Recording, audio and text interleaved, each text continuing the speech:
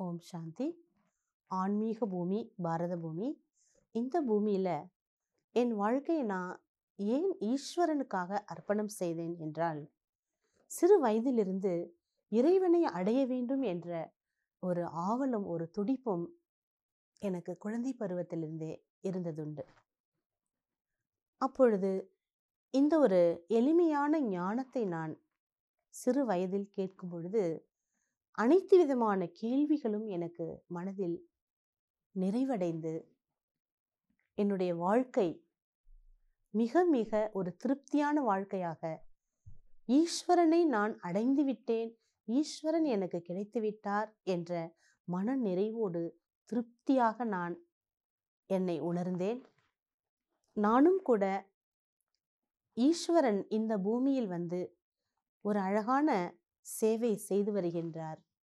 நாமும் கூட அவருடைய சேவையை செய்து அநேக ஆத்மாக்களுக்கு பல வழிகாட்டியாக திகழ வேண்டும் என்று என்ற ஒரு ஆர்வம் எனக்கு இருந்தது.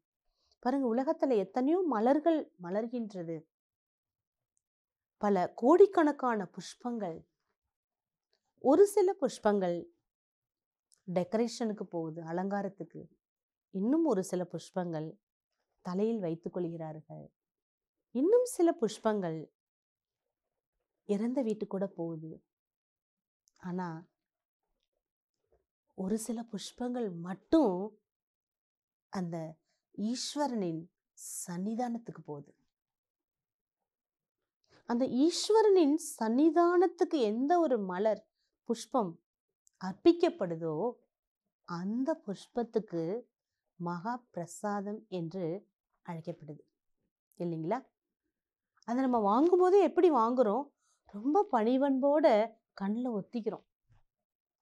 அதே போல தான் இந்த உலகத்தில் எத்தனையோ மானிட வாழ்க்கை இருந்தாலும் அரிது அரிது மானிடராய் பிறத்தல் அரிது என்ற பழமொழிக்கு ஏற்றாற் போல இந்த ஒரு வாழ்க்கை பிரம்மா குமாரி வாழ்க்கை மிக மிக ஒரு சிறப்பான வாழ்க்கையாகும்.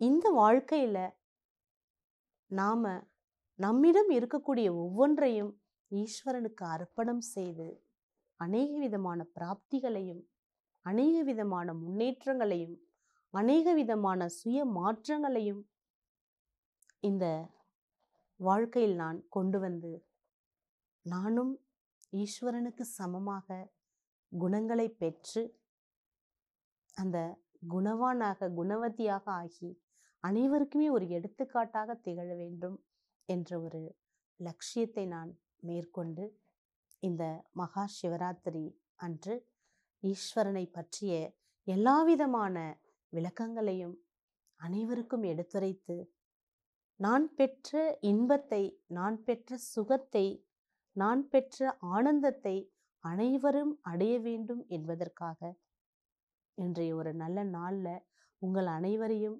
சந்தித்தல் சந்தித்ததில் எனக்கு மிக மகிழ்ச்சியாக இருக்கின்றது. நன்றி.